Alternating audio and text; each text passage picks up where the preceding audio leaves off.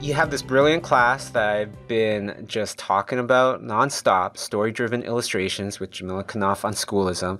I wanted to talk about lesson six. I want you to kind of elaborate on this. Lesson six, one of the main things about lesson six is killing your darlings. Can you expand on this a bit?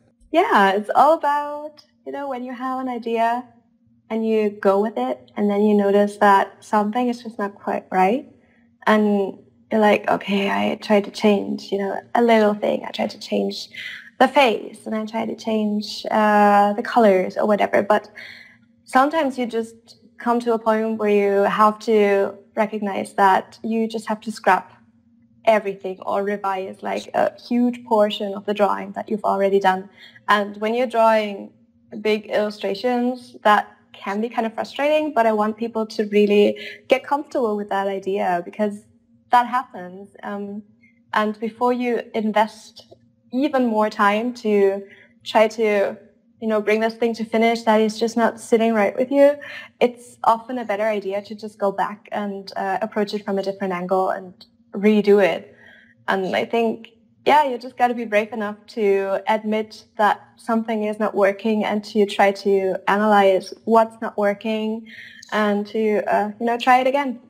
And one of the tough questions that I don't know what the answer is, maybe you do, but it's like, how do you know when to abandon your idea or to keep trying to work on it, fix it, change it, you know, massage it? Because sometimes that works and sometimes mm-hmm. abandoning it works.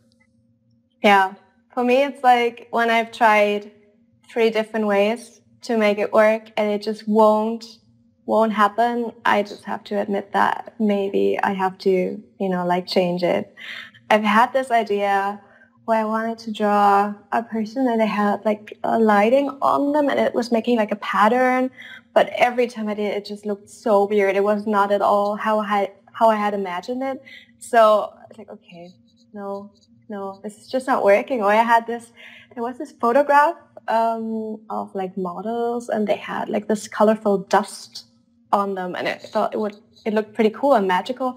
But then when I tried to do it, it was just like I was painting characters and when the characters were done, I was trying to put the dust on them. I was like, oh no, no, this is not at all how I imagined it. It just looks very, very strange.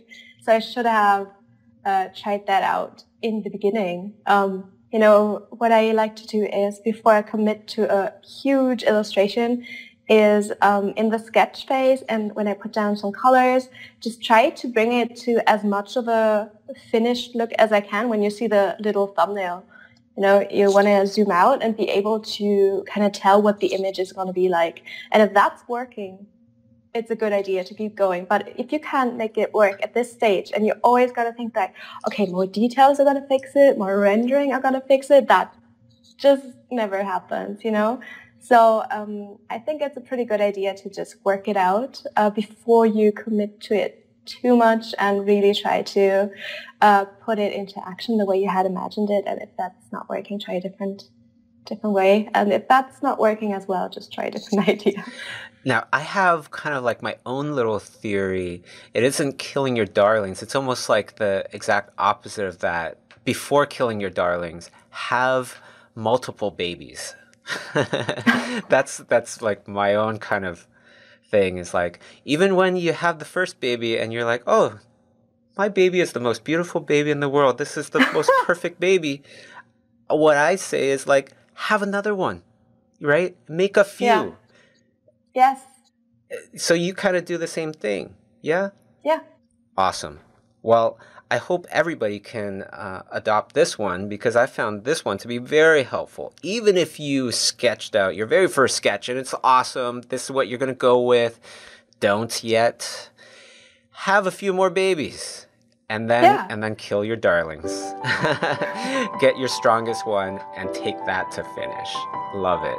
And of course, if anybody wants to know more about how Djamila thinks about illustrations, creates her illustrations, especially story-driven illustrations, go take her course on schoolism.com, story-driven illustrations with Djamila Knopf. Thank you very much. That was awesome.